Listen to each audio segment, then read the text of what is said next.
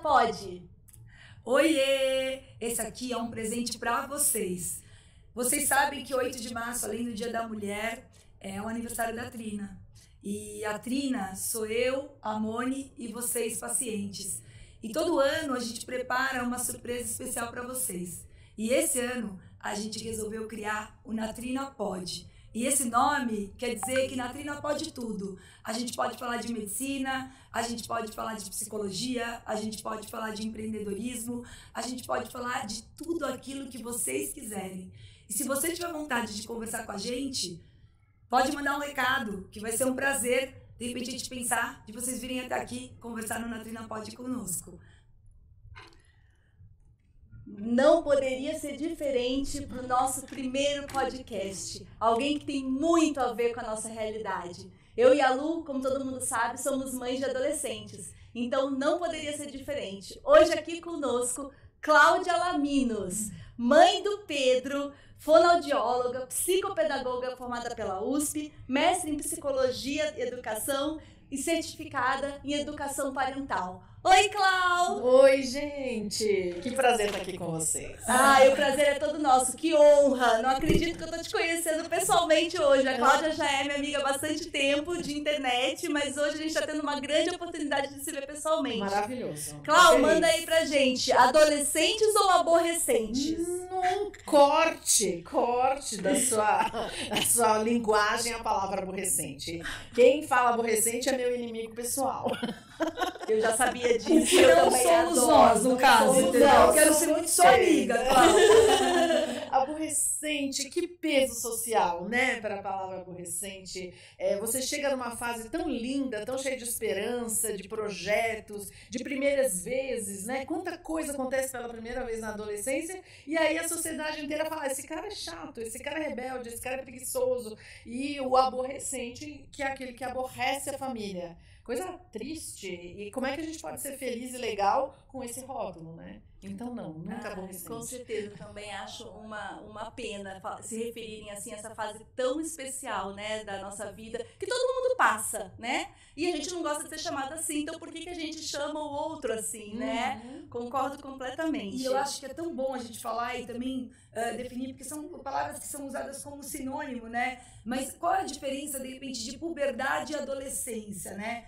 Porque a puberdade é aquela fase que começam as alterações físicas, né, hormonais, e ela termina quando inicia o, a, a, vida reprodutiva, né? A, a, pessoa pode começar a ter filhos. Então, a primeira menstruação da menina e no menino a produção de espermatozoide. E todo mundo confunde um pouquinho com a adolescência, porque a adolescência ela vai até mais tarde, né? Eu, eu digo até que às vezes tem muito, muito adulto de 40 anos que ainda né? Depende do pai e da mãe, vive no, com o pai da mãe, com o pai e com a mãe em casa uhum. e depende financeiramente. Eu acho que ainda é considerado adolescente. Então me conta um pouquinho aí o que você pode falar da puberdade, adolescência? É, a puberdade ela, é tida como o início da adolescência, é o pontapé inicial, que são as mudanças de hormônio que vão desencadear todas as mudanças físicas do adolescente. É, a adolescência ela é maior. A, a, adolescência ela, ela tem uma conotação psicossocial. Né, de funções desempenhadas, de autonomia. É, e a adolescência, o fim da adolescência, é, ultimamente o que as pesquisas têm trazido é que ela, é, o, a adolescência termina quando um indivíduo é independente emocional e financeiramente dos pais. E aí entra nessa questão dos 40 anos. E aí a gente tem um problema. Sim. Não dá para esticar tanto assim. Mas a adolescência costuma ser é, bem mais comprida, bem maior em número de anos do que a, a expectativa dos pais, que acha que fez 18 anos está adulto. E não tá. Não tá nem é, em termos de desenvolvimento cerebral e nem de, de conduta, né? De raciocínio, de nada disso. Quais são as mudanças psicológicas que acontecem nessa fase, assim, mais intensamente, Clau? Olha, é, o adolescente passa por um processo que se chama individuação. E esse processo, ele, ele como diz o nome, é tornar-se um indivíduo. A criança é muito conectada com os adultos cuidadores. É, e o adolescente, ele, ele percebe que ele é um ser separado. E ele entra nesse processo de afastamento, de descobrir quem é, do que gosta. É, ele passa por um momento em que ele sente necessidade é, é, de contradizer opiniões é, dos pais, especialmente. Eu acho que, que marcante é esse, essa tendência ao isolamento, o fator grupo, que é extremamente importante, estar com os pares, quem pensa como eu, ser parecido com esses pares, e aí os pais se descabelam, porque, ai, essa roupa é ridícula, ai, que corte de cabelo horroroso. Para nós, adultos, para eles é uma questão de pertencimento e é uma questão crucial é, a questão dos pares. E a questão de, de saber, se saber, né? Se conhecer e saber quem é. E é complicado porque hoje a gente está vivendo com quatro a cinco gerações vivendo ao mesmo tempo. Então imagina que de repente para o meu pai e para minha mãe, o que os meus filhos adolescentes hoje gostam é uma coisa totalmente real para eles, uhum. assim como para nós, né? Então a gente também tem que ter esse bom senso. Mas eu digo que às vezes eles também têm que ter um pouco de bom senso com a gente. Porque vivemos em outra geração também, né? Uhum. E a gente também tá aprendendo a ser pai e mãe. Então a gente também erra, a gente acerta, mas a gente sempre tá fazendo com amor, tentando acertar, né? É, eu, eu concordo com tudo que você falou, Lu. Só que às vezes o modo como nós adultos fazemos é um modo que não chega no adolescente, não toca o adolescente. É, a gente precisa de respeito mútuo. Respeito é sempre de, de duas vias. Então não dá para a gente exigir o respeito sem respeitar. Começa daí. Então, é, respeito era, era confundido com, a, é, com obediência. E, e aí a gente acaba fazendo uma, uma misturex aí das duas palavras, e obediência não é algo muito confortável para um adolescente que quer saber do seu poder pessoal, quer saber do que ele é capaz, né? Então, acho que tem essa questão. Tem a questão da vulnerabilização, né? Do tipo, desculpa, eu errei né, da parte dos adultos. É, eu não sei, mas assim, é, é, a maioria das pessoas com quem eu convivo da minha faixa etária, eu tenho 55 anos, é, nunca ou muito poucas vezes ouviu desculpa dos pais. Um pedido eu de até desculpas. falando isso outro dia com a Luciana, né? É, a gente às vezes tem se sente tão mal por pedir desculpas e reconhecer que a gente está errado, que a gente sempre vem com um desculpa, mas e aí eu falo, desculpa, mas não é um desculpa sincero, né? Não. E na relação, a gente erra também. Então, é, é um desculpa do fundo do coração e vamos refazer, vamos aprender juntos. Mas aí eu ia aproveitar que você estava falando dessa questão do isolamento do adolescente e do pertencimento ao grupo. Até que ponto? Porque eu acho, às vezes, como mãe de adolescente, essa linha tênue, sabe? Eu quero respeitar o espaço ali da minha filha, que que foi engraçado, até tem, um, tem uma história peculiar para contar quando ela era, assim, da infância para a adolescência, eu ainda não percebendo muito ela na adolescência. Mãe, bate na porta do meu quarto antes de entrar. Por porque realmente na infância isso não, não existe, né? Você tá ali no comando e você entra sem pedir licença, você ajuda a se trocar, você ajuda a tomar banho. E de repente aquela pessoa cresce e ela passa a ter né, a, a, a individualidade dela, a privacidade com o corpo, com o trocar de roupa, que precisa super ser respeitada. Então hoje eu fico lá me policiando, eu tenho que bater antes de entrar. E ela tem razão nisso, né? Ainda cometi uma gafe duas, três vezes e falei, desculpa, mas eu tô aprendendo, né? É, mas foi do fundo do coração e é isso, a gente vai aprendendo. Mas assim, a minha pergunta é, essa linha tênue entre é, a individualidade e o isolamento. Até onde a gente precisa entender que aquele é o espaço deles e respeitar, mas até que ponto a gente também às vezes não precisa intervir no sentido de falar, poxa, eu também sou seu grupo, não deixa de ser meu grupo. Uhum. Perfeitamente. Eu acho que essa, esse é um grande equívoco que muitas famílias é, cometem é, dos dois lados ou quer a presença maciça do adolescente, não entende que ele precisa desse tempo, ou a larga, ah, ele não quer mesmo, então deixa pra lá. É, a, cabe aos, aos adultos, e a gente nunca pode esquecer que nós somos os adultos da relação, né?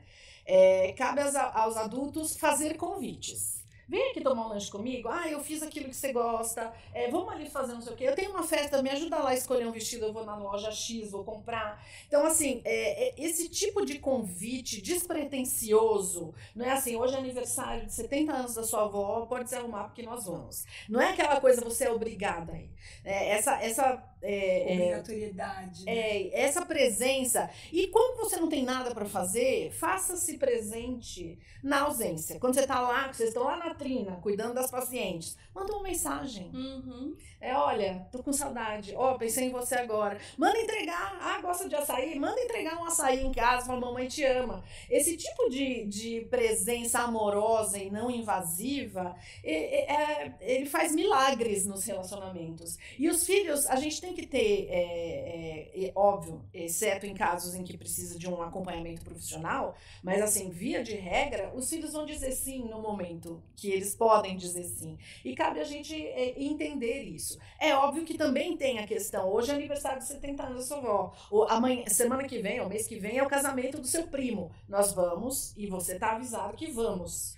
Né? Tudo tem limite, né? E é importante, o adolescente ele quer limite, porque aquilo que você falou, né? Eu não, eu não sei qual das duas agora, mas fala, você pertence ao grupo ainda. Não é porque você tem um grupo lá fora que você deixou de pertencer a esse aqui. Aliás, ele, ele, a última coisa que ele quer na vida é deixar de pertencer ao grupo original. É, é um momento, é um lugar para onde ele pode voltar. É, são as pessoas para quem ele pode pedir ajuda. E ele precisa ter certeza disso. E ele vai ter certeza com essas mensagens amorosas e essa presença na ausência. Eu, todo dia de manhã, é engraçado que meus filhos vão para escola, isso desde pequenininho. E eu falo para eles assim: uh, eu já disse uma coisa para vocês hoje. E eles respondem: hoje não. Eu falei: então eu vou, vou dizer que eu amo vocês. E eu quero que vocês saibam disso todos os dias mesmo nos momentos difíceis. E eu, esse foi um hábito que eu uh, tive com eles desde pequenininho. Eu faço questão, eu gosto de, apesar dessa minha vida maluca, eu adoro levar eles na escola. Então eu faço questão e sempre eu faço essa pergunta, porque eu quero que eles saibam que eu vou estar ali para eles para abraçar e que sempre vai existir amor. Mesmo naqueles momentos, eu sempre falo, se vocês me contarem aquilo que vocês fizeram de errado, uh, vai ser mais fácil para vocês. E a mãe tem o poder de descobrir as coisas, hum, né? A gente tem o radar. Né? A gente tem o radar. E eu acho que outra preocupação é a questão da impulsividade, né, dos adolescentes. Eles são muito impulsivos, Clau. Por que eles são assim tão impulsivos? É, é, os adolescentes eles são impulsivos e aí a gente precisa separar um pouquinho o que é impulsividade, o que é comportamento de risco, que, que são duas coisas diferentes, embora pareçam em alguns momentos a mesma coisa. Mas a impulsividade se dá muitas vezes é, por conta do desenvolvimento cerebral do adolescente. O, há uma, a última parte do cérebro que se termina o seu desenvolvimento, que é o córtex pré-frontal, que é esse que fica atrás aqui da nossa testa, é, é o, o, o a parte responsável pelo raciocínio, é, pela racionalidade, pela é, percepção antecipada das consequências. Então, essa impulsividade, essa coisa assim, ah, vai lá e aconteceu e fez bobagem, né? Ou fala alguma coisa que depois se arrepende, se arrepende mesmo. Adolescente se arrepende no depois. E a gente fala, ah, na hora falou, mas agora vem pedir perdão. Ele está realmente pedindo perdão,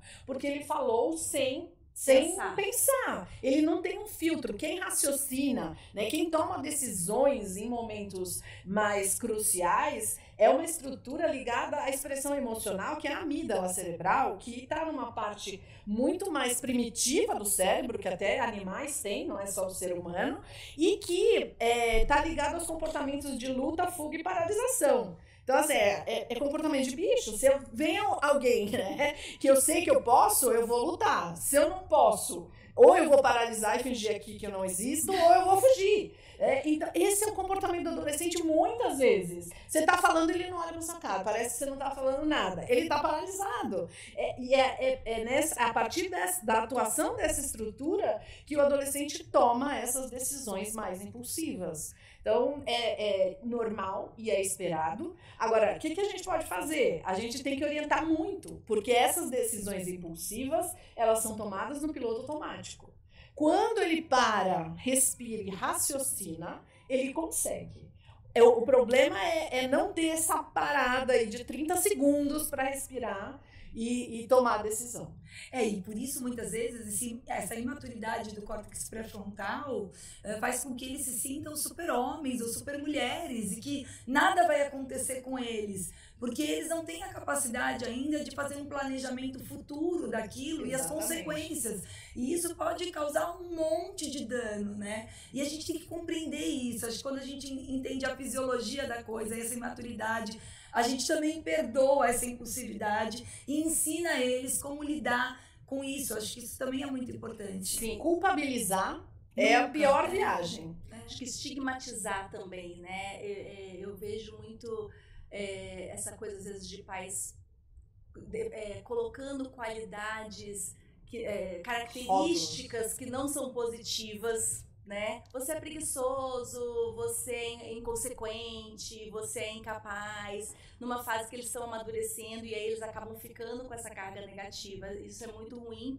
E voltando um pouquinho ali no gancho do, do grupo, do pertencimento, eu acho que é importante nós, como pais, também enxergarmos que a gente precisa estar disponível, né? Porque às vezes é, acontece, né? Acontece na minha casa, às vezes, um Poxa, mãe, queria ir tanto no cinema, quer ir comigo? Às vezes você tá cansado, você trabalhou a semana inteira. A tendência é falar, ai não, tô morta. Mas, poxa, é uma oportunidade de você estar tá com eles, né? Uhum. Então, tem que pegar aquela força ali do fundinho, mesmo cansado, e, e, e tá ali, porque às vezes nesses pequenos momentos você escuta aquilo que era muito importante você escutar e não tinha escutado ainda. E sabe que eu costumo é? fazer uma outra dica também, que eu acho que quando eles estão ali meio quase adormecendo, né, com sono, eu acho que é o momento que eles acabam falando um pouquinho o que realmente aconteceu. Porque geralmente eu pergunto, e aí, como foi a escola?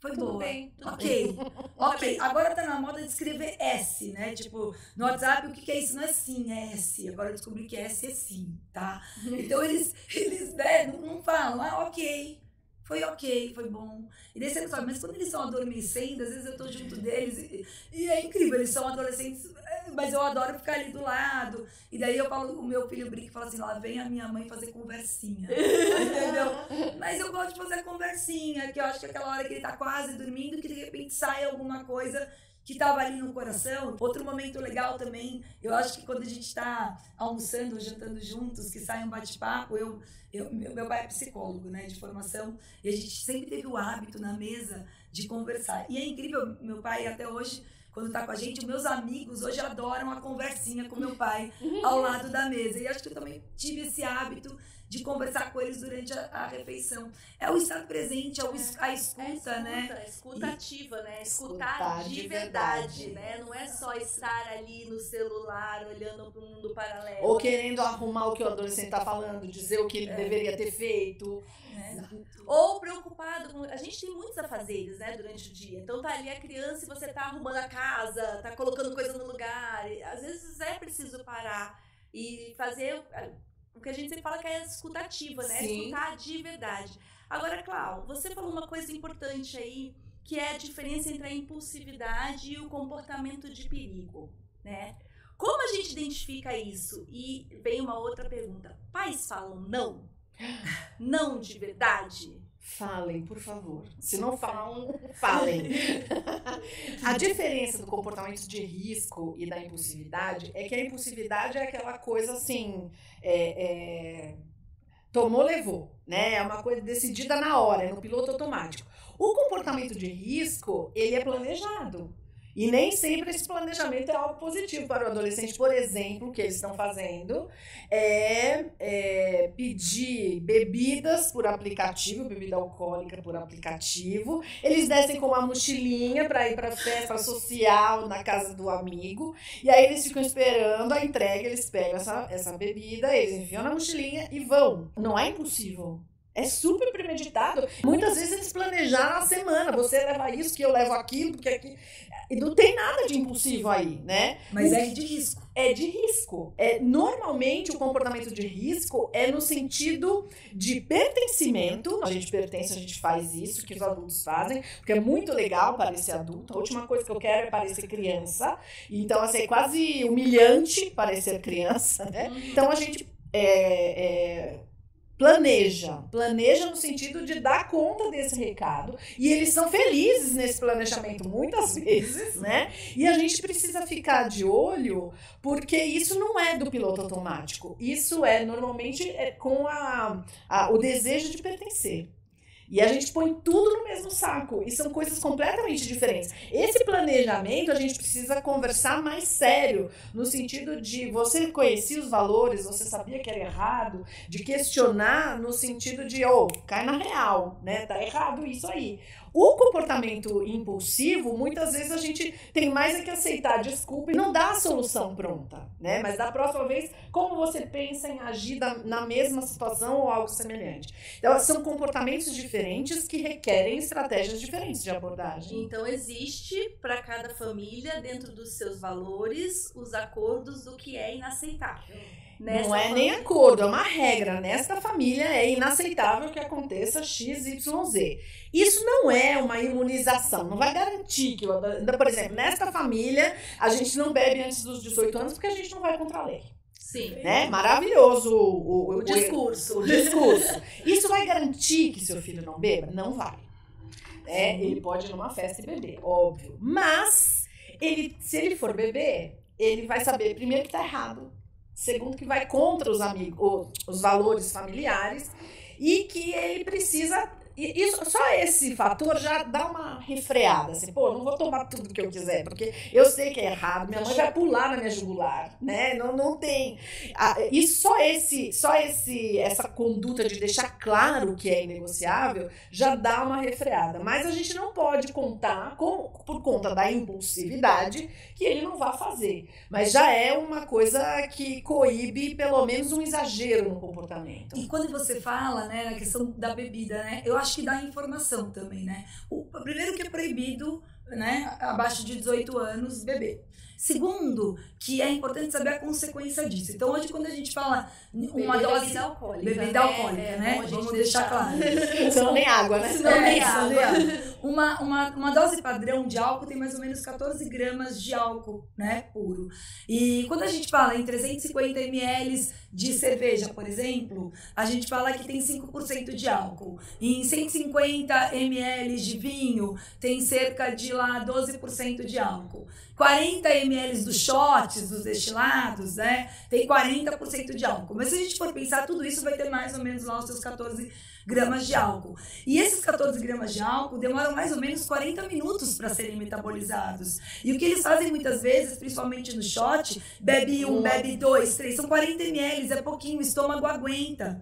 Só que o fígado não aguenta, porque demora os 40 minutos para ser metabolizado. E se ele ingerir um, dois, três, ele pode entrar em coma alcoólico. E a gente que é médica acaba tendo isso tudo no consultório e tem repercussão. Além disso, tem o superego ali lá no cérebro que vai embora. Então, muitas vezes, quando eles estão alcoolizados, eles acabam fazendo coisas que eles não gostariam de fazer. Eles ficam suscetíveis e isso é um, um perigo. Inclusive então, é violência, né? E, é, exato. Suje é, sujeitos a sofrer violência. Né? E por isso tem que ser falado que tudo isso tem uma consequência. Porque muitas vezes a gente fala, não, não pode beber porque é proibido, e não pode, não, não pode porque tem uma consequência. E dar essa informação para os adolescentes e para os pais, que muitas vezes também não sabem, é importante. Uhum. Agora o pai vai lá, bebe um monte, dirige, de repente vai falar para o ah, adolescente. É, é Lavaí, né? Lá na nossa casa aqui pertinho, né? E daí vai dizer para ele, quando ele começar a dirigir, olha, não vai, se você beber, não vai dirigir. Então, nós somos exemplos, né? Porque é, a, as nossas palavras elas têm menos peso neste caso do que as nossas ações. Dar modelo é fundamental. É importante, né? O nosso modelo não vai dizer das 14 gramas de álcool, não vai. A gente precisa dar essa informação. Mas é, o nosso modelo fala muito mais alto no sentido de modelar o comportamento. Então, assim, é, o risco é alto, dependendo do tipo de grupo, de, de ceder às pressões, mas é, é importante.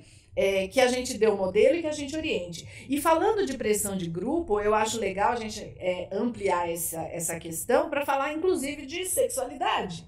Ah, com 12, eles estão é, forçando a quem nunca beijou beijar. Ah, nessa, todo mundo já beijou, menos você. E a coisa é meio que eu chamo, brincando, de checklist da vida, né? Ah, tem o checklist do beijo, tem o checklist do álcool, tem o checklist do sexo. Tá rolando a, a banalização do beijo? Oh, do beijo. Ah, quantos você beijou essa noite? Eu já recebi adolescente que beijou 15 numa noite. e, e, cadê o sentimento? Né? O beijo passou a ser é só um beijo. Isso, mas assim, né? até pro, pra, é, muitas vezes para relação sexual, que é a maior intimidade que você pode dar para alguém, é, não, é totalmente instrumental. E não tô julgando. Cada um faz com o seu corpo o que quiser. Mas quando se trata de educação de filho, a gente precisa, como família, dizer que isso é um valor pra gente. Né? E que a gente, a nossa expectativa é que as coisas não aconteçam quando é valor da sua Sabe família. o que eu acho, Clau? Eu acho que é importante para nós pais entendermos que a gente precisa ser claro, sem meias palavras, porque eu trago muito esse exemplo na minha vida, né? Eu, eu tenho um pai maravilhoso, né? Espetacular, um cara que as minhas amigas super admiram, né? A Lu mesmo fala, às vezes a gente tem alguma dúvida na clínica, ela fala, liga pro seu pai, pergunta para ele que ele vai dar um bom conselho pra gente. Ele realmente é um cara assim.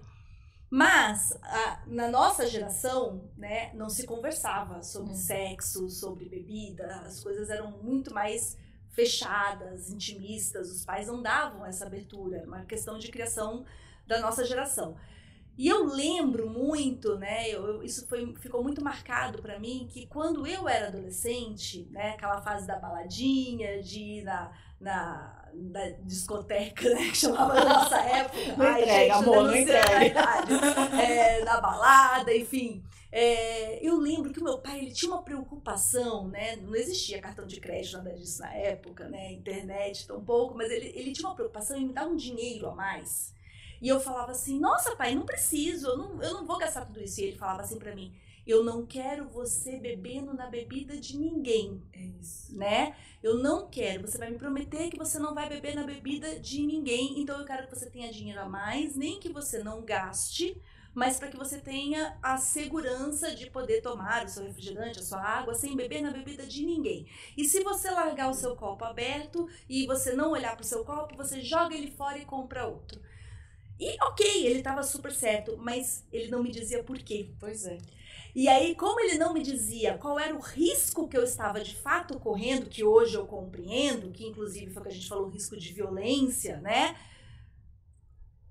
É, às vezes podia escorregar, Uhum. porque eu não compreendia o tamanho daquela informação, né? Então hoje eu, eu vejo muito isso com as minhas filhas, não que elas eventualmente não deem uma escorregada também, porque são adolescentes e tem a questão da impulsividade, mas eu acho que funciona mais eu dizer, minha filha, eu não quero você bebendo no copo de ninguém, porque isto, isso, isso, isso pode acontecer. Porque podem colocar E- alguma coisa Exato, dentro da sua que bebida vai te apagar. que vai te apagar, vai te dar uma boa noite noite Cinderela. Cinderela. E, e todos esses riscos você está correndo, Uhum. né? E, e de uma forma muito clara, para que ela realmente, de fato, compreenda o quanto aquela orientação é importante, qual é o tipo de risco que ela está correndo. me lembrou de uma situação que aconteceu com meu filho. Ele tinha uns 7, 8 anos.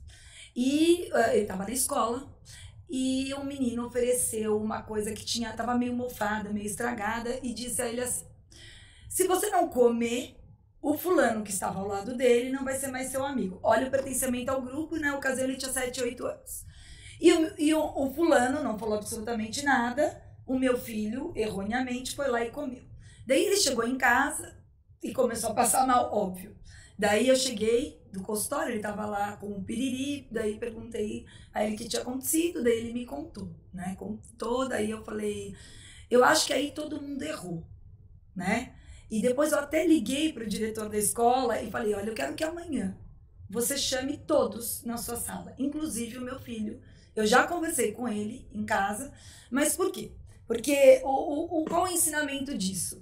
O menino que ofereceu a comida estragada pro meu filho tá errado, óbvio. Mas o meu filho de ter comido e acreditado que aquele amigo não seria mais amigo dele, caso ele não comesse, também tá errado, porque ele não teve ali uma autoestima forte para dizer: "Desculpa, se esse menino não quer ser meu amigo, azar dele, porque eu sou um cara bacana".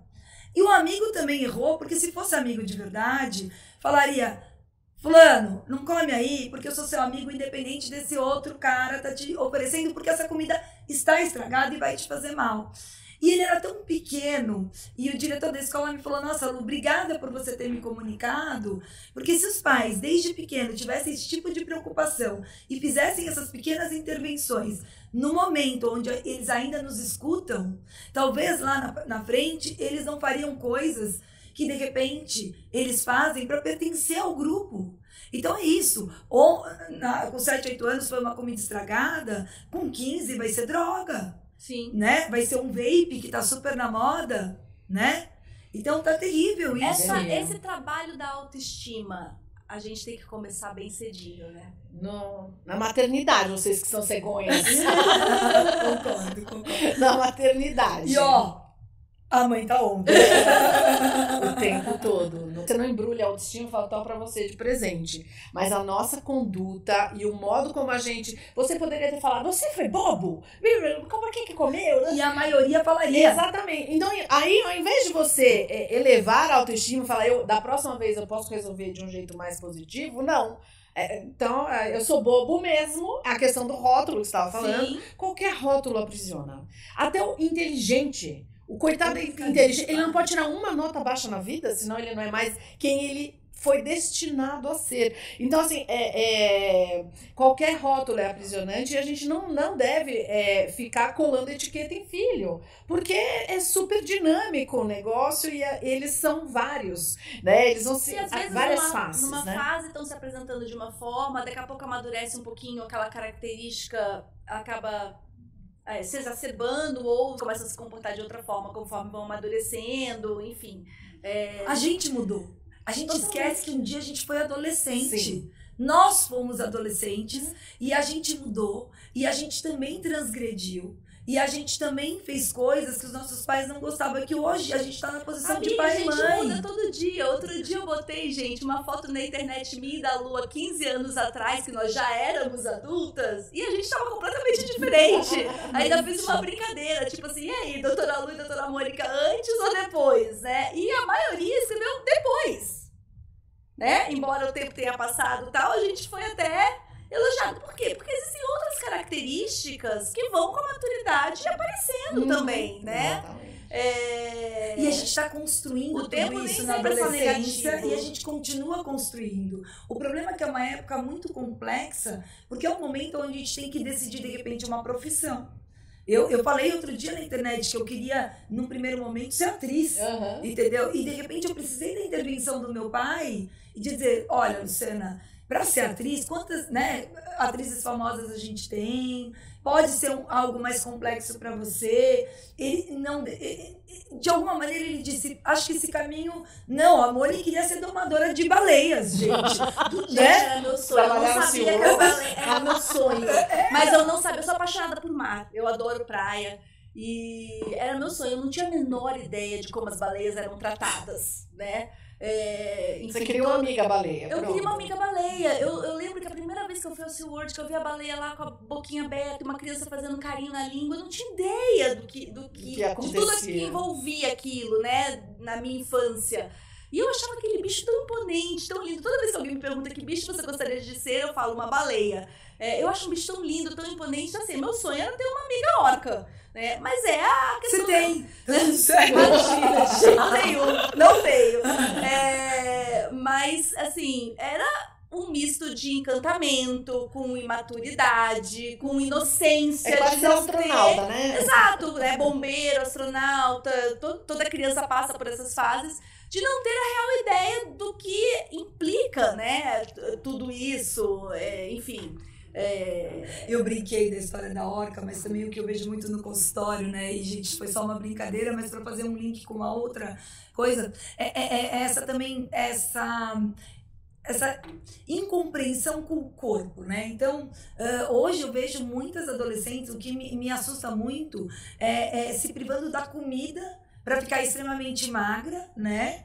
E, e ela, ela não se reconhece. Então, hoje é muito mais complicado. Antes era muita obesidade, né? Que, mas hoje não. Aos 15, 16 anos, hoje eu tenho um, um problema muito de anorexia e bulimia no meu consultório.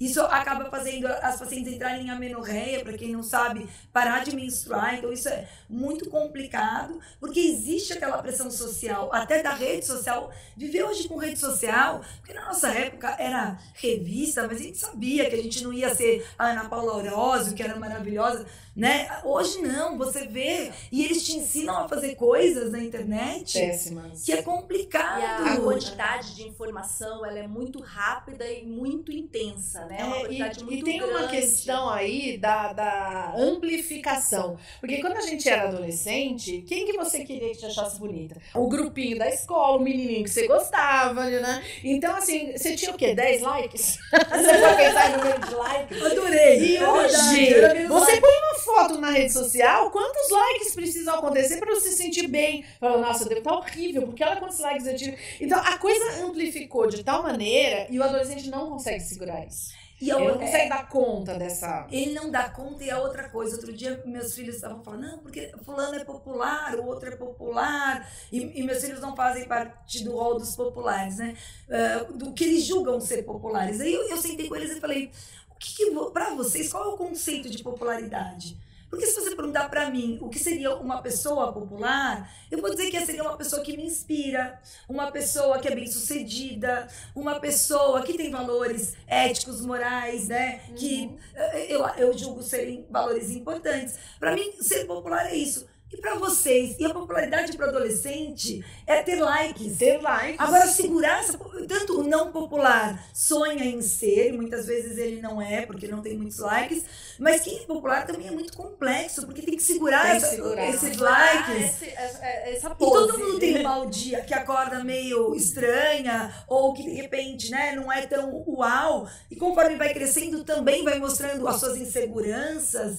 Então, olha que complexidade colocar essas pessoas nesse patamar e elas se sentirem mais poderosas. Sim, e aí a gente tem ampliação de casos de bullying, a gente tem ampliação de anorexia e bulimia, a gente tem uma série de questões que estão, é, que, que vêm né, na retaguarda de, dessa, desse caminho aí que a gente segue e que não é o mais saudável para os nossos adolescentes. Mas é. você sabe que é engraçado, porque passa o tempo eles amadurecem, né? A minha filha que está agora da adolescência, entrando da fase adulta, ela já fala assim, Cuidado com os geeks, eles um dia serão seus chefes. tá certa ela. É melhor sermos amigos de todos. Ela vive brincando com isso em casa. As pessoas fazem bullying e ficam, é, enfim, né, é, tirando sarro, vamos dizer assim, do mais inteligente da turma, daquele que, que tá ali estudando mais ferrenhamente, mas um dia ele será o seu chefe. E é verdade, porque, gente, quantas pessoas a gente não reencontra na nossa vida? Nossa, e eu reencontrei muitas que eram os populares e que hoje eu olho. Eu não me né? troco. Hoje eu não, não me troco.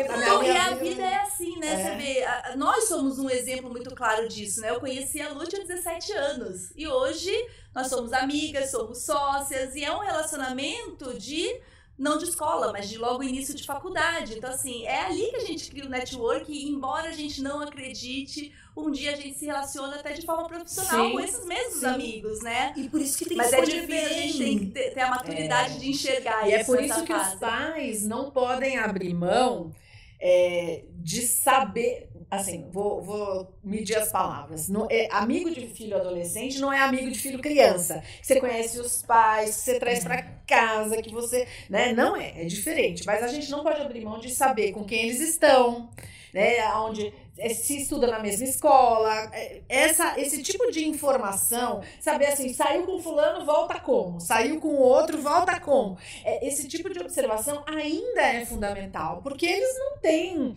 noção de que coisas erradas podem acontecer dali para frente. Estar presente. Então, mesmo é não estando mesmo. ao lado, é estar presente, porque a gente tem que se preocupar com quem vai com e atento ao ambiente que eles estão frequentando. E eu Sim. acho que os próprios pais, a questão do bullying, né? Poxa, uh, uh, agora minha filha vai fazer aniversário e daí querendo, né, convidar as pessoas, aí eu falei para ela, ou a gente convida todos, ou a gente não convida e não vai ter festa. Parece uma coisa boba, mas assim, você fala assim, ah, outro dia, ah não, só foram convidados 10 porque só o que cabia. Desculpa, cabe 10, cabe 15 entendeu? Pode ser que não caiba no seu carro, porque mas em um carro cabe 10, né? Então, eu acho que a gente tem que ter esse cuidado, e esse cuidado é essa educação, porque eu acho que isso se chama educação. E se colocar no Vem outro, né? também. Né? Ninguém gosta de ser excluído. Né? Educação né? a gente não gosta, então por que a gente exclui o outro? É, né? e, e isso acontece muito, e às vezes eu acho que não é só da criança. Eu acho que tem os pais ali, talvez, incentivando. E saiba que a vida ela dá volta. Hoje você não convida aquela amiguinha ou aquele amiguinho porque de repente não é o popular ou porque o seu filho de repente por algum motivo. E né? amanhã ele será o seu chefe. Sabe que quinta-feira agora essa semana eu vou dar uma palestra sobre bullying, exatamente sobre isso. É, duas coisas interessantes que, que estão na palestra. Primeiro, existe uma lei anti-bullying que passou a vigorar em 2016 e que exclusão é, é tá na lei. E, exclusão faz parte do está tipificado lá na lei que, que é, é, faz parte de bullying. Essa história de ai que mimimi, ai porque não sei o que, não é, não faz, não, não faz sentido. Se o outro sofre, ele tem um motivo dele. E uma outra coisa é que os pais é, normalmente quem reclama? O pai do, do adolescente ou até da criança que sofre bullying. Quando chega e fala, seu filho fez bullying. Não, meu filho não, não, de jeito nenhum. Então há uma certa. É, Tampa-se tampa o sol com a peneira, né, no sentido de, de não querer olhar para o filho que, que pratica o bullying. E que estatisticamente, esses meninos e meninas que praticam bullying, eles são muito mais propensos a se envolver com drogas, com atos ilícitos. Né? E o, o, o adolescente que pratica bullying é um adolescente que também sofre. Essa é uma questão que a gente, como pai e mãe, se fala o meu filho, é, para mim, que o meu filho está praticando bullying, eu tenho que olhar tanto quanto se ele estivesse sofrendo, porque eu, a gente pode ter problemas sérios. E eu concordo. E a outra coisa que às vezes acontece muito é o seguinte: às vezes o bullying, às vezes, muitas vezes ele é silencioso, né? Então ele vai lá e fica atormentando o amiguinho. O amiguinho não, né? O colega, no caso. Ele atormenta, ele atormenta, ele atormenta. E aquela criança vai absorvendo, vai absorvendo. Tem alguns que vão absorvendo e podem até desenvolver algo psicossomático, né? Ter depressão e tudo mais. Outros não aguentam o tranco, vão lá e dão um soco no, no, no, outro. Daí, esse que deu o soco, não, não, não tô falando que é violência justificando, mas a gente também tem que olhar, porque na verdade a repreensão acontece só pro que né, foi lá e deu um soco. Reage, ele que reagiu. Ao, ao eu tô maltrato. sendo bem uh, uh, escancarada e, e, horrível na minha colocação, mas porque a gente também tem que ter cuidado para as duas partes. Sim. Quem uh, levou o soco e quem deu o soco? Os dois, de novo, a mesma história do meu filho lá atrás. Os dois precisam ser vistos, Os dois precisam ser olhados e cuidados. Os dois é são igualmente mesmo. importantes. E eu acho que a questão do bullying, inclusive, eu li um, um, artigo, não lembro, mas não é, não é brasileiro, falando que é, todas as pessoas na escola, em todos os ambientes, têm que estar atentos ao bullying. Sim. Não é só o professor. Não. Seja a pessoa da cantina, seja a pessoa que está fazendo a limpeza da escola, seja qualquer pessoa. E os próprios pais né? precisam estar em parceria é, com a instituição é educacional. Que muito, né? muitos pais estão e outros não, e nem percebem. E, e, né? e o, a, a prática do bullying, ela normalmente ela não acontece na sala de aula. Sim. Ela vai acontecer no recreio. Então, assim, onde os professores têm menos capacidade possibilidade de ação. Por isso que tem que toda, todos os funcionários é um da escola têm que receber treinamento anti-bullying. E, e, e, na escola da, da Luísa também tinha, não tinha um grupo que eu achei super tinha. interessante, uh, que era um grupo de alunos e não eram só os alunos populares ou não populares, era misturado. Eu acho que é legal Sim. você contar, Moni, é, como era. Um grupo. Agora eu não vou lembrar exatamente o nome porque tinha uma sigla mas eles tinham um grupo de alunos que poderiam é, se oferecer, era algo é, espontâneo, não era obrigatório. Trabalho escola, voluntário. Trabalho voluntário. E também desse grupo faziam parte alguns alunos que os próprios professores, coordenadores, identificavam que teriam um perfil bacana para isso e que o trabalho deles era é, identificar casos de bullying. E eles tinham uma aula que eles poderiam conversar sobre esses assuntos é, identificar quem precisava de ajuda, é, levar isso, obviamente, à coordenação para que a escola ajudasse naquela situação, tanto daquele que estava sofrendo bullying quanto do que estava praticando, no sentido de chegar junto e falar como eu posso te ajudar. Poxa, peraí, não fala dessa forma, né? Não é legal você ficar é, aborrecendo o seu colega, né? Então existia esse papel que os próprios alunos faziam e era legal porque isso fazia com que eles se envolvessem na questão uhum. e enxergassem o quanto aquilo era ruim até para eles próprios. Né? E, e, hoje se fala tanto né, em gratidão, né? Gratiluz, gratidão, né? Não gosto muito disso, vamos lá, mas gratiluz. Mas é. Uh, quando, na verdade, acho que a medicina faz muito isso com a gente, né, Moni? E acho que no seu caso também, que faz atendimento para muitos pais de adolescentes, acho que também você sente isso.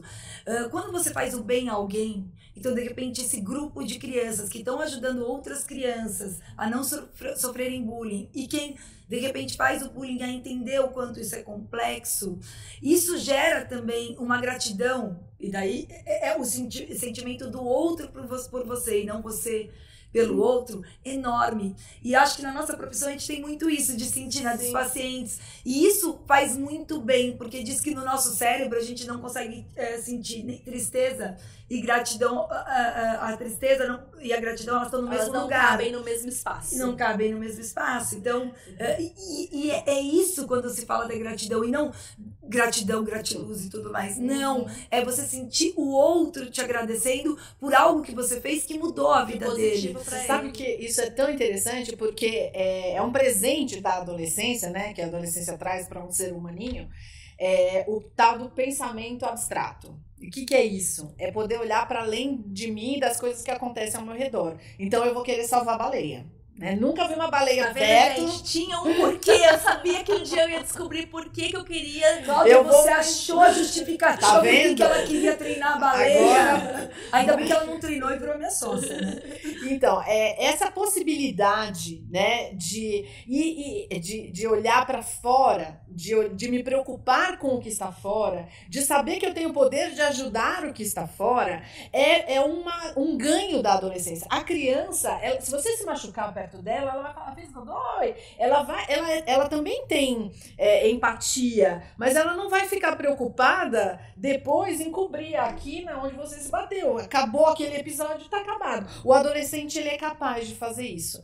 E aí, então, a adolescência é a época das causas. Ah, eu sou a causa é, sou contra a homofobia, eu vou querer salvar as baleias, eu vou recolher doações para o litoral norte que sofreu essa tragédia. Então, é, o adolescente é capaz disso. E a gente é, muitas vezes esquece dessa possibilidade. E fazer um grupo desse de adolescentes ajudar, catar lixo da praia, sei lá o que. Mas eles são capazes e eles se sentem muito é, participantes, eles se sentem muito felizes. E esse, esse sentimento Fazendo algo da, positivo, da né? gratidão do outro que você está falando, Lu, toca e você muda a vida de um adulto. Muda. Ele se torna um outro adulto né? Depois de passar por esse tipo de experiência. Ele melhora como pessoa, como né? Então, por isso que eu achei muito interessante quando a Moni me contou. Eu achei muito interessante. Aí fica a sugestão para outras escolas fazerem esse grupo, porque eu acho que isso é tão complicado. Às vezes a gente receber a notícia de um adolescente que tirou a vida né? Nossa, um adolescente amiga. que está deprimido. E acho que cada um de nós, seja nós médicos, você que né, trata os pais, os adolescentes, a escola, todos nós somos responsáveis e são os pequenos detalhes. Às vezes, é, é um, uma pessoa que está indo toda hora na enfermaria, é uma maneira, de repente, de ele estar tá pedindo ajuda. Sim. Eu não estou bem, não é que ele está doente toda semana. Ele não está bem porque algo está acontecendo. E essa escola tem que perceber isso. É quando anota e a pessoa é super bom aluno de e, e de repente começou a deixar de ser os pais têm que observar isso, mas eu acho que a escola também tem que observar. A sociedade sim, como né? um todo, né? Todos nós, no fim, somos responsáveis. É, responsáveis e às vezes uma pequena mão estendida resolve uma situação que pode ser super bem grave complexa depois, né? e pode ser grave. E, e, fazendo também, pensando nesse tema que a gente está falando, qual, como a gente consegue perceber se esse adolescente, de repente, está com algum problema emocional, psicológico, quais são os pequenos, né, uh, uh, as pequenas pistas, porque eu acho que a gente é meio Sherlock Holmes, né, a gente tem que descobrir o que o adolescente está pensando. O que, que, de repente, você me diria, olha, não fica atenta. O adolescente que não tem amigos, Nenhum. Não, não precisa ter um milhão de amigos. Essa é porque a gente às vezes tem a expectativa da turmona, que sai todo fim de semana. Isso também é irreal. É, especialmente nesses tempos de internet, às vezes os amigos são sempre online. Sabia que essa geração, nós fazemos diferença entre a, a gente comemorando que se encontrou pessoalmente. Os adolescentes não fariam isso. Porque não, não existe diferença para eles. O meu filho tem um amigo que foi morar fora. E quando ele deu a notícia que ia morar fora, uh, o meu filho só olhou para ele e falou assim: para onde você vai, a internet é boa? Pronto. E daí ele Resolvido. falou, é, ele falou se tem conexão e a conexão vai para as duas formas, a conexão internetica Sim. e, e, a, a conexão, conexão da amizade. É. E como o meu filho tem amigos desde o G1, de um ano de idade, e cada um tá numa escola diferente e a conexão continua, para eles, se existe conexão, tá tudo Tá certo. tudo bem. E daí entra a história de que eles são mais o amigo virtual. É tão amigo quanto o outro, Olha que o interessante. real, né? Então, voltando Então, aos pontos de atenção. Se ele não, Não tem amigos. Se ele mudou o comportamento radicalmente, ele era muito feliz, muito comunicativo, se fechou. Isso costuma acontecer na adolescência, mas de um jeito mais gritante, digamos, mais radical, né? É, problemas no sono, ou tá dormindo muito, ou tá dormindo pouco do que em relação ao que dormia antes. Na alimentação, tá comendo demais, tá comendo muito pouco. Então, isso tudo é um indício de que algo não vai, vai bem. As notas da escola, óbvio, né? É, de que algo precisa ser visto. É certeza? Se houve alguma alteração, é certeza que ele tem alguma questão de saúde mental? Não é. Mas eu acho que a gente não pode dormir com esse barulho. Não. A gente tem que fazer um. um, né, é, levá-lo a um profissional que possa dizer: olha, teu filho precisa disso ou teu filho não precisa de nada. Tá tudo bem, isso é coisa da adolescência, tá ótimo. Mas a gente precisa tirar a dúvida quando um desses fatores Chegar. aparece. E um outro ponto que às vezes eu chego e, e- é uma atenção aí para as mães de adolescentes. Eu já peguei algumas meninas que hoje tá muito é muito triste, mas a questão do automutilamento, né? E, e essas meninas geralmente elas vão com camisa de, camiseta de manga comprida. Então fica a dica se você de repente a sua filha, eu falo de mulheres porque é o que eu É atendo, mais, mas é mais comum entre é as mais meninas comum mesmo. entre as meninas. Então observa, se ela tá um super calor, 35, 40 graus e de, e, e, Tá de de comprida, eu acho que é um ponto de atenção. Mas também ao mesmo tempo a gente não pode eh, ah, ultrapassar a privacidade, né? Então até que ponto eu eu chego e peço para ela tirar um moletom, né? Ou, ou não, mas eu acho que precisa ficar atento, né? Não, é, é nesse caso, Lu, a gente não tem que ter dedos. A gente pode perguntar diretamente, olha, filha, eu tenho notado. E ó, não é só braço. Tem outros Sim. lugares que eu acho que É- talvez é porque não no- seja né, Não, é é, legal a caso, gente falar. mas no porque- nosso caso a gente consegue ver como médica, mas É, então, não. não, assim, filha, eu tô notando que você tá sempre de manga comprida. É, tá acontecendo alguma coisa? É, por acaso você tem pensado em se machucar? É uma pergunta direta que não vai provocar a menina, porque só se corta quem, quem premedita, é o tal do comportamento premeditado, né? Então, é, então perguntar, e se vo- você conhece sua filha, óbvio, né? E se você notar que ela tá evasiva ou que ela ficou apavorada, ela se incomoda de mostrar seu braço. É, é com delicadeza, é com respeito. Chega essa blusa já, né? Que tem muita gente que fala isso, né?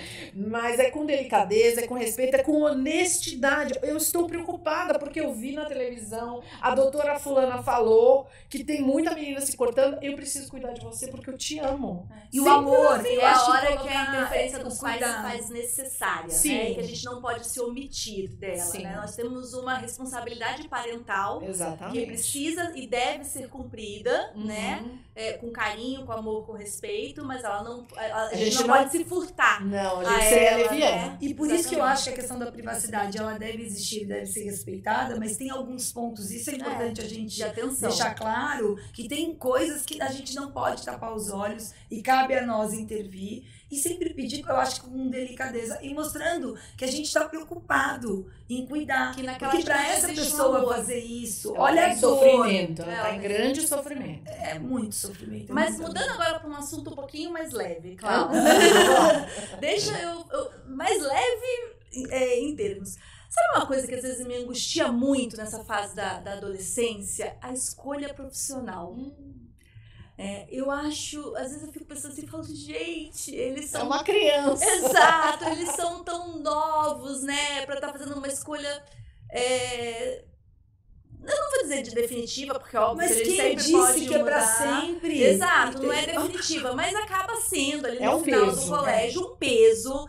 Né? Eu já passei por um terceiro colegial aí, terceiro do ensino médio, não é um ano fácil, é um ano onde eles se sentem pressionados, eles se sentem cobrados, eles se sentem é, num clima de competição, né? E não digo nem de competição porque eu tenho que ficar- passar nos- no, no vestibular, mas é os meus amigos vão passar e eu, E não eu vou não. passar, né? Às vezes a escolha profissional do amigo nem é a mesma que a sua, mas aí eu não quero ficar para trás. Eles estão prontos para isso? Como a gente auxilia? Como a gente pode estar ali ajudando nessa fase que é uma fase que eu acho que para eles é mais pesada? É, é mais pesada assim. E depende. Tem uns, eu vou contar de casa, já que vocês falaram tanto dos filhos. O meu filho, é, aos nove anos de idade, dizia que ia trabalhar com justiça. Ele não sabia o nome advogado. Mãe, eu vou trabalhar com justiça. Eu preciso trabalhar com isso. Eu não aguento ver injustiça. E hoje ele é um advogado. Ele decidiu aos nove o que ele seria, e eu não tenho Que dúvida sorte. de que ele vai seguir isso é, é, com muita alegria e com muita, muito afinco, muito esforço, né? Então, eu ah, acho que... Então, tem gente que está pronto muito antes e tem gente que não está. Mas é, é um corte social, é um corte da nossa sociedade. Terminou o ensino médio, nós vamos ingressar no ensino superior e uma decisão vai ter que ser tomada. Assim como na tribo lá, o menino de tantos anos vai enfiar o dedo, a mão no formigueiro e aguentar as picadas da formiga. É um, não deixa de ser um ritual, de passagem que eles vão ter que dar conta. Ou eles vão é, é, é, escolher errado e vão desistir no primeiro ano, o que acontece bastante, ou eles vão tentar empurrar e depois de formado, depois de um tempo falar, não, não é isso, vou fazer transição de carreira, ou vão ser felizes, como a gente está aqui, feliz com a escolha que fez, e a gente, assim, cada caso vai ser um caso e vai lidar de um jeito diferente. Mas não dá pra simplesmente se abster. Ai, meu Deus, eu não quero escolher agora. Mas eu acho que também cabe a gente dar algumas orientações. Então, no caso do meu pai, quando eu queria ser atriz, e ele, com um jeito, ele me explicou que talvez não fosse a melhor escolha. E, e engraçado que um dia eu fui dar uma entrevista ah, e daí tinha um camarim com o meu nome.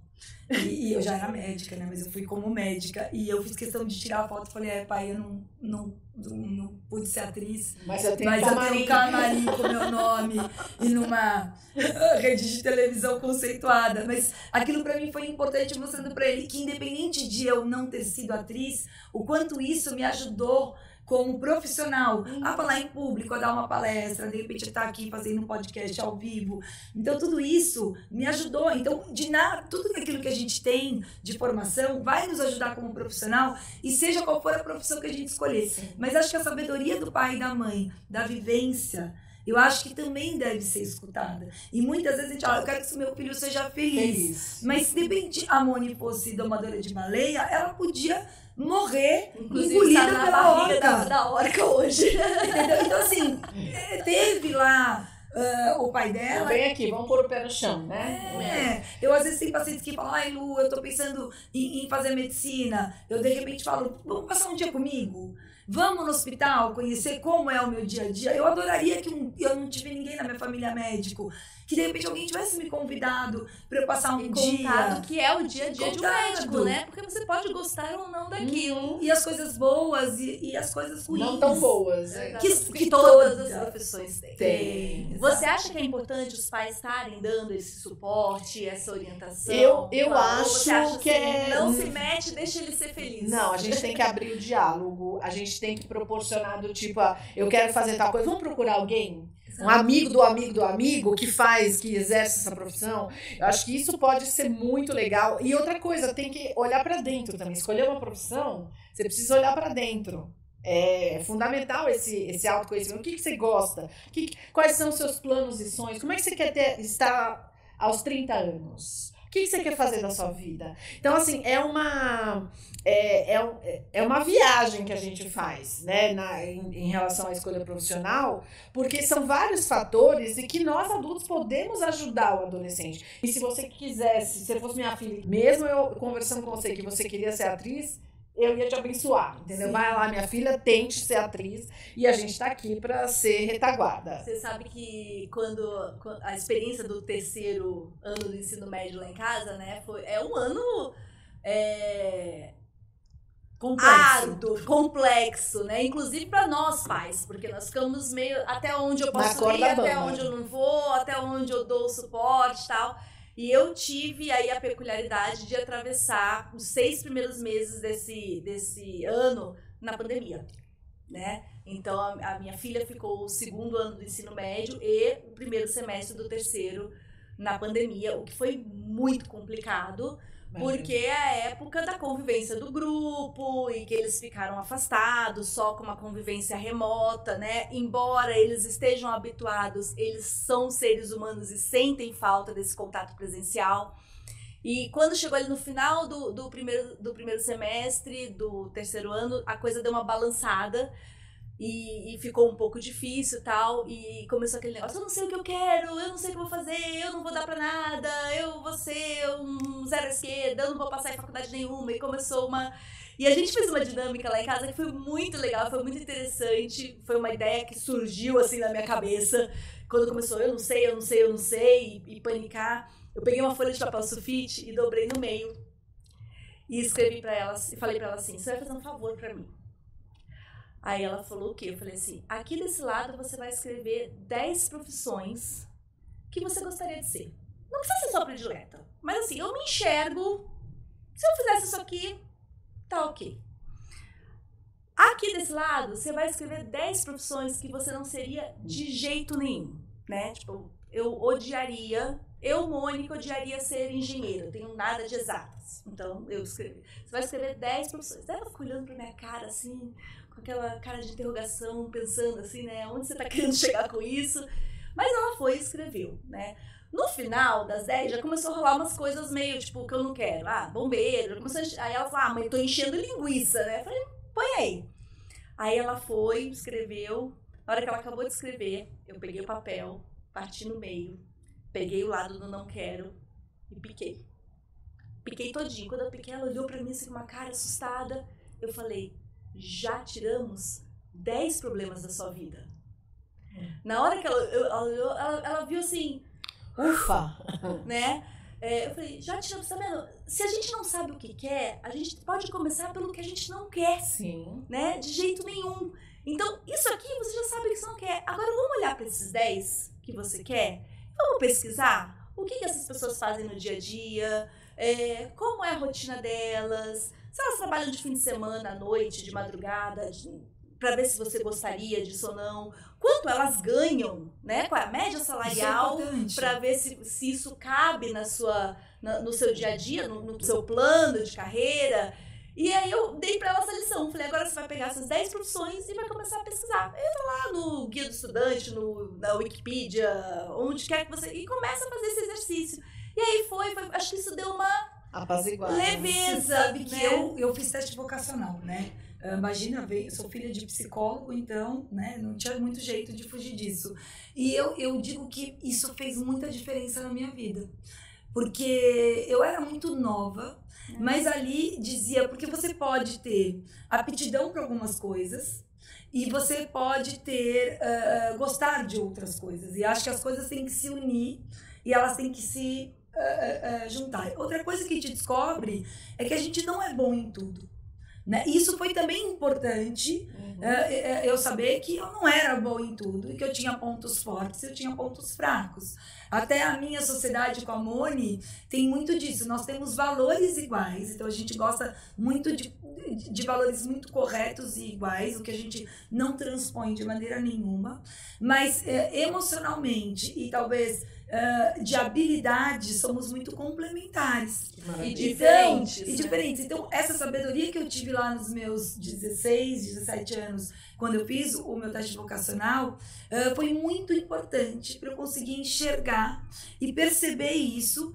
E, e de repente, para montar um time, e hoje a gente tem que montar um time, eu falo que uma cirurgia é uma grande orquestra, onde tem vários né, instrumentos e eles não podem desafinar principalmente numa cirurgia. E você tem que escolher pessoas que estão ao, ao seu lado complementares a você. E melhores que você nos pontos que talvez você não seja tão bom. Enxergar que todo mundo tem um lado bom e positivo, mas às vezes só não está colocado no lugar correto. Sim. Exato. Né? E eu falei outro dia isso pro meu filho, um outro exemplo, ele foi fazer um trabalho em grupo. E daí ele chegou para mim em casa todo tristonho e falou: "Mãe, muito difícil esse trabalho em grupo, porque estou eu e quatro pessoas que não fazem nada. E ele sempre foi bom aluno. E daí eu falei, vamos lá. Todo mundo tem algo bom para fazer. Então vamos conversar. O fulano, ah, o que, que de repente ele tem de bom? Ah, ele fala demais o tempo inteiro na aula. Eu falei, então, você é mais introspectivo. Então, de repente, esse plano A é quem vai apresentar o trabalho, porque ele deve Isso. ser extrovertido. Uhum. O plano B, que ele, a mãe ele só gosta da, da, aula de artes. Ele adora desenhar, ele fica desenhando o tempo inteiro na sala. Ele vai desenhar. Ele vai decorar o entendeu? trabalho. Ele vai desenhar, vai fazer o trabalho, vai ser o trabalho Ilustrar. mais maravilhoso. Tenho certeza que vão ter as ilustrações mais lindas do mundo. Você, de repente, gosta de fazer a pesquisa, né? de- então, colocou a função de cada um no seu No lugar. seu lugar correto. E eu acho que isso é muito importante, porque hoje é isso. Você não, nem sempre vai trabalhar com quem você quer, Uhum. com quem você gosta, mas todo mundo tem um lado bom. E a gente enxergar isso. É, onde aquela pessoa pode ser bem aproveitada, né? Às vezes ela só não tá no lugar correto, você ajusta ali as pecinhas do jogo e tudo fica bem. Clau, eu queria muito te agradecer. Ah, A gente tá chegando no final. É uma honra estar você aqui, uma honra estar te conhecendo presencialmente, né? Eu falo que eu já sou BFF da Clau no mundo virtual, agora no mundo presencial também. Uma delícia, vamos fazer mais vezes. ah, que bom. E, enfim, nós estamos muito felizes aqui com, esse, com essa estreia, né, no aniversário da Trina, desse podcast. E fica a lembrança, se você achar que tem alguma coisa bacana, positiva para trazer pra gente, só escrever no comentário para vir aqui bater um papo, porque a Trina pode tudo. Exatamente, obrigada, Clau. Você é incrível. A gente tem muitas pacientes em comum e, e histórias lindas, né, para contar. E eu acho que a vida é assim, ela aproxima a gente de pessoas que de repente são parecidas, né, com a gente. Então eu quero agradecer por você estar aqui na nossa estreia. É um carinho muito grande e que você continue fazendo a diferença na vida das pessoas, desses pais, desses adolescentes, porque a gente precisa de pessoas que nem você, que estão lá para ajudar. Obrigada. Ah, eu que agradeço. Agradeço o convite e eu posso dizer que eu, é recíproco o que eu sinto por vocês e acompanhar vocês é muito importante, é muito enriquecedor. Muito, muito obrigada. Adorei.